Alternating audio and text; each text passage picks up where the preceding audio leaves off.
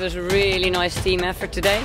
Um, first race we finished third, um, and second race we finished first.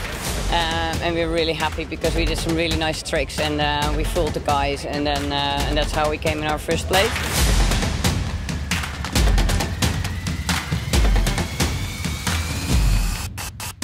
It was very gusty, big waves, a um, lot of uh, technical sailing, but the course was really great. So uh, compliments to the um, to the organization, to the race committee.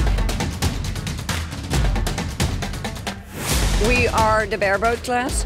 Um, I like it because you sail against boats, and normally it's also when you finish first, you get the first place. Now we have a couple of guys who get a, um, they get, well, we owe them minutes, so it's very hard to beat them. But um, uh, we sail without spinnaker, so when uh, we go downwind, we just have the jib, and some people butterfly, as we call it. So you have the mainsail on one side and then the jib on one side.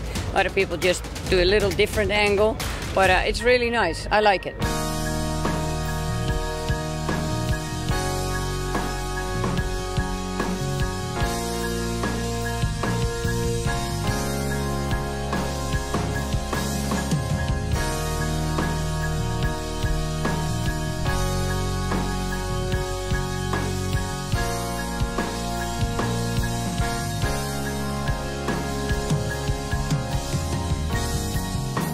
It's the Heineken team, so all the girls they work for Heineken.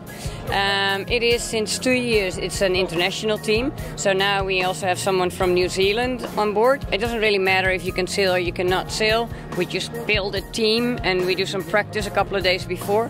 And everybody thinks, ah, it's only about the, uh, the Bridge Act. It's also part of it, but we're really, really going for it on the water, which is really nice.